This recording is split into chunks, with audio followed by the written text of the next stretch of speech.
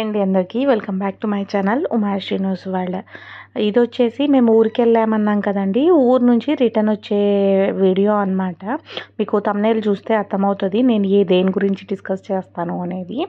దాని గురించి చెప్పే ముందు ఫస్ట్ మేము ఇంటి దగ్గర నుంచి బయలుదేరిన బయలుదేరేది మీతో అయితే షేర్ చేసుకుంటున్నాను అనమాట ఆ రోజు ఈవినింగ్ ఇంకా సెవెన్ ఆ టైంకి డిన్నర్ చేసేసుకొని మేము బయలుదేరిపోయామన్నమాట. అంటే లెవెన్ థర్టీ అలా ఈ ఊరికి వచ్చేయచ్చు ఆ టైం లోపల అని చెప్పేసి ఎర్లీగా సెవెన్కి అంతా డిన్నర్ చేసేసుకొని ఇంకా ఊరికైతే బయలుదేరిపోతున్నాము. ఊరి దగ్గర చలిమంటలు వేసుకున్నారనమాట మా పక్కనంతా.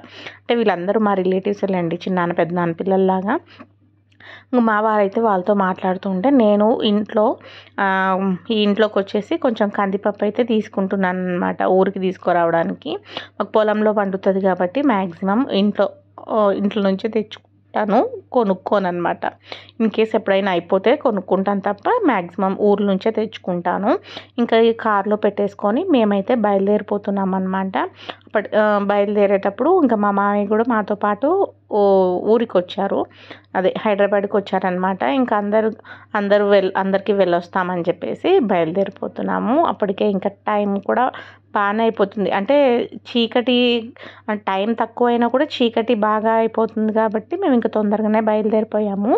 ఆన్ ద వేలో అంటే మా ఊరు మా ఊరి పక్కన ఐజా అని టౌన్ ఉంటుంది అనమాట ఆ టౌన్లో మాకేమన్నా ఇక్కడ దొరకనివి ఏమన్నా ఉంటే అక్కడ తీసుకొచ్చుకుంటాను అనమాట నేను అక్కడ షాప్ అంటే తెలిసిన షాప్ ఉందన్నమాట కిరాణం షాపు. అక్కడ తీసుకుంటాము.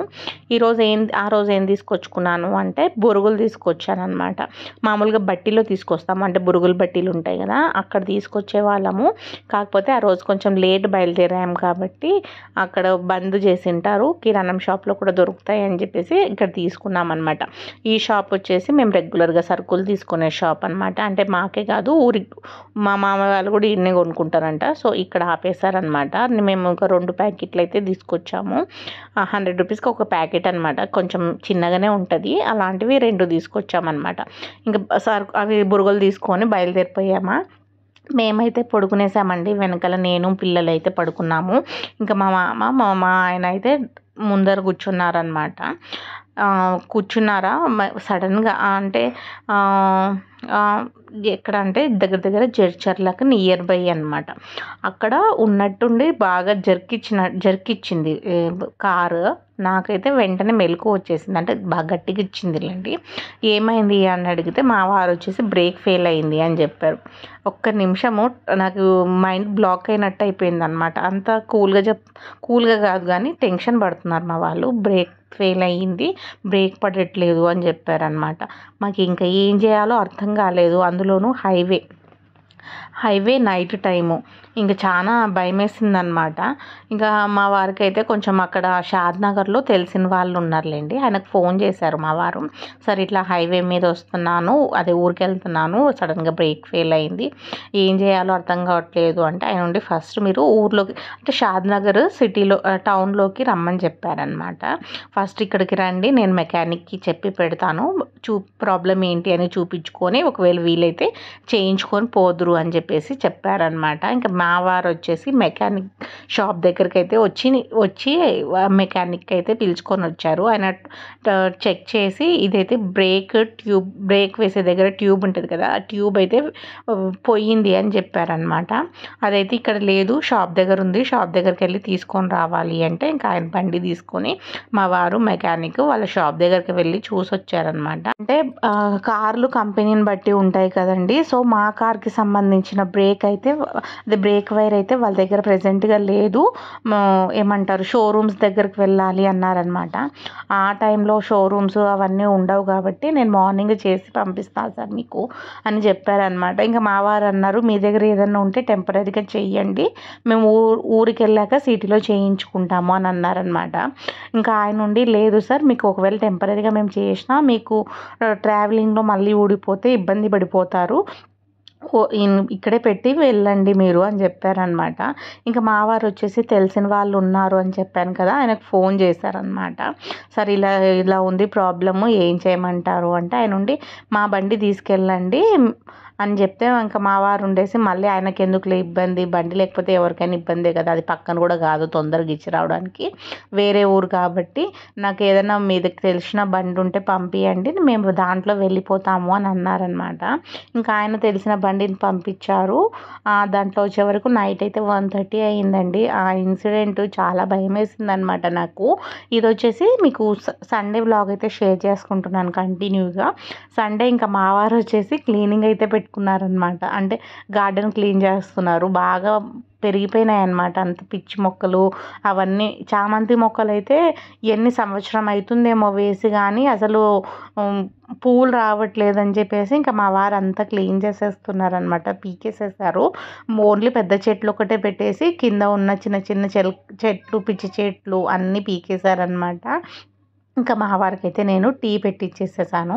ఆ రోజు అమావాస్య కాబట్టి అది అంతకు రెండు రోజుల ముందే ఆ ఇన్సిడెంట్ జరిగింది కాబట్టి నాకు చాలా భయం వేసింది అనమాట సో ఈరోజు కొంచెం ఇంట్లో నేను అమావాస్య రోజు బాగా చేసుకుంటానండి పూజ. సేమ్ మనకు పండగ రోజు ఎలా చేసుకుంటామో అలా చేసుకుంటాను అనమాట ఇంకా అందులోనూ లాస్ట్ కార్తీక మాసం లాస్ట్ కాబట్టి ఇంకా ఆ రోజు కొంచెం బాగా పూజ చేసేసుకున్నాను. ఆ ఇన్సిడెంట్ జరిగింది కాబట్టి దేవుడికి దండం పెట్టుకొని అంటే ఏ ఎలాగో అది పెద్ద ప్రమాదం నుంచి మమ్మల్ని తప్పించావు అన్న కృతజ్ఞత అన్నమాట. ఆ రోజు కూర్చొని దేవుడి ముందర బాగా కొంచెం దండం పెట్టుకున్నాను.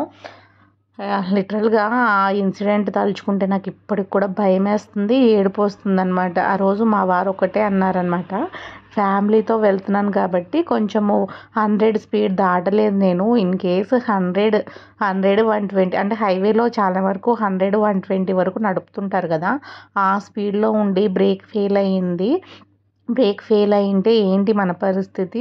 ఆలోచిస్తేనే భయం వేస్తుంది నాకు అన్నారనమాట సో ఏమో మనకు దేవుడి కృప వల్లనే ఏదో పెద్దది తప్పిపోయి చిన్నది జరిగింది అని అనుకున్నాను అనమాట నేను. ఏం జరిగినా మన మంచికే అన్నట్టు ఇంకొకసారి కొంచెం జాగ్రత్త పడతాము అన్నట్టు అనిపించింది అనమాట నేను ఇంకా దేవుడికి ఆ రోజు కొంచెం కృతజ్ఞతలు చెప్పుకోవాలి కదా. ఆ ఫ్యామ్ ఆ పిల్లల్ని మమ్మల్ని క్షేమంగా బయటకి లాక్కొచ్చాడు కాబట్టి ఏమీ జరగకోకుండా అందుకోసము దేవుడికైతే ఆ రోజు మనస్ఫూర్తిగా పూజ చేసేసుకున్నాను అనమాట ఇంకా అది ఉసిరి దీపాలు పెట్టడం ఇంకా ఆ రోజే లాస్ట్ అవుతుంది కాబట్టి కొంచెం దేవుడి ముందర ఉసిరి దీపాలు కూడా పెట్టేసి ఇలా అంత పూలు పెట్టి బిల్వపత్రాలు పెట్టి అంత అలంకరణ చేసుకొని పూజ కూడా చేసేసుకున్నాను. ఇంక ఈ లోపల మా వారు వచ్చేసి బయటంతా క్లీన్ చేసేసి చిన్న టబ్బులోన కొత్తిమీరకి కొత్తిమీర వేద్దామని చెప్పేసి ధనియాలు అయితే చల్లుతున్నారనమాట మా పిల్లలు కూడా పక్క నుండి చూస్తున్నారు. అంటే ఇవి వేస్తే ఏం గ్రో అవుతాయి అని మా చిన్న పాప అడుగుతుంటే మా వారు చెప్తున్నారనమాట ఈ ధనియాల సీడ్స్ వేస్తే మనకు కొత్తిమీర కొరియండర్ వస్తుందమ్మా అని చెప్పేస్తున్నారు. ఇంకా అలా అయిపోయిందా? మార్నింగ్ అయితే బ్రేక్ఫాస్ట్ చేసేసామా? బ్రేక్ఫాస్ట్ చేసిన తర్వాత ఆ రోజు ఏదైనా స్వీట్ చేయి అన్నారనమాట మా వారు. ఇంకా మా చిన్న పాప వచ్చి చాలా రోజుల నుంచి గులాబ్ జామున్ అడుగుతుందండి పాపము. నేనే కుదరక చెయ్యట్లేదు. నేను ఈ ఫస్ట్ టైము ఒక చిన్న మెథడ్తో నా ఇలా ట్రై చేశాను.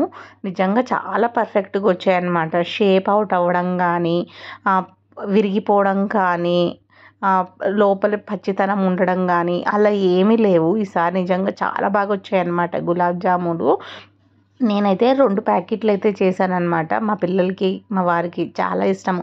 గులాబ్ జామున్ ఇష్టం లేని వాళ్ళు ఎవరుంటారు చెప్పండి. అందరికీ ఫేవరెట్ స్వీటే కదా ఇది. నాకు కూడా చాలా ఇష్టము. సో ఒక రెండు మూడు రోజులు తింటారు పిల్లలు అని చెప్పేసి రెండు ప్యాకెట్లు చేశాను. ఇంకా మా మామయ్య వాళ్ళందరూ ఉన్నారు కదా అని చెప్పేసి చేశానమాట ఫస్ట్ టైం ఇలా ట్రై చేశాను. నిజంగా చాలా అంటే చాలా బాగా వచ్చాయన్నమాట మేము లిటరల్గా ఒక త్రీ ఫోర్ డేస్ అయితే ఎంజాయ్ చేసాము నెక్స్ట్ టైం ఎప్పుడైనా చేసేటప్పుడు ఇలా విరిగిపోకోకుండా లోపల పచ్చి పిండి ప్లేకోకోకుండా మంచిగా సాఫ్ట్గా ఉండే గులాబ్ జామున్ అయితే ఈ రెసిపీ మీతో షేర్ చేసుకుంటానండి. ఇంకా గులాబ్ జామున్ చేసేసామా? ఈ అమావాస్య రోజు బాగా చేసుకుంటాం పూజ అన్నాం కదా నేను అలాగే ధూపం కూడా వేస్తాను అనమాట ఇంట్లో. అంటే సాంబ్రాణి ధూపం అంతా వేస్తాను ఇంట్లో కంపల్సరీగా రోజు. పండగల టైంలోనూ అమావాస్య రోజు ఖచ్చితంగా ధూపం వేస్తాను అనమాట కొంచెం బయటికి పోయే పని ఉందని చెప్పేసి రెడీ అయ్యానులేండి.